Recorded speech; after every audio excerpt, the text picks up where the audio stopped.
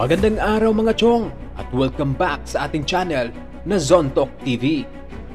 Mahaharap ngayon sa kasong rape ang former WBO Intercontinental Super Bantamweight Champion na si Albert Prince Pagara matapos maakusahan ng pangmumulistya sa isang 14-year-old na babae sa Cebu City.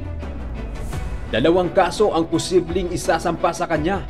Ito ay ang Republic Act 7610 o ang Special Protection of Children Against Abuse, Exploitation and Discrimination Act at ang Republic Act 9262 o ang Anti-Violence Against Women and Their Children Act of 2004.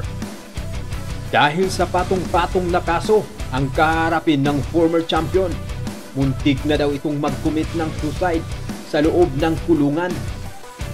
Umiram daw ito ng sintas ng sapatos sa mga bilanggo at itinali ng mahigpit sa kanyang leeg. Ngunit hindi siya nagtagumpay dahil pinigilan siya ng kanyang mga kakusa.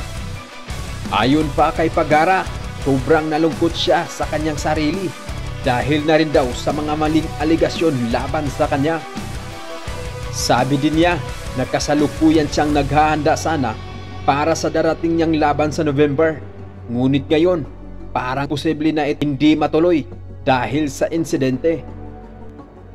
Si Pagara ay isang pambato ng Ala Boxing Stable na nakabase noon sa Cebu. Nakapagtala din siya ng napakagandang record na may 33 wins kasama na dyan ang 23 knockouts at may isa lamang natalo.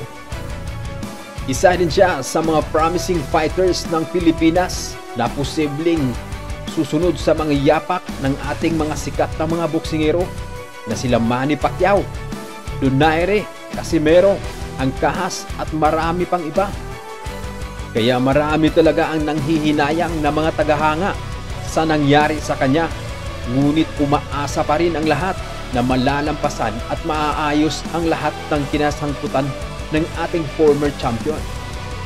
At yun lang mga kazontok. Kung bago ka palang napadpa dito, huwag mo nang kalimutang mag-subscribe. Salamat sa panonood.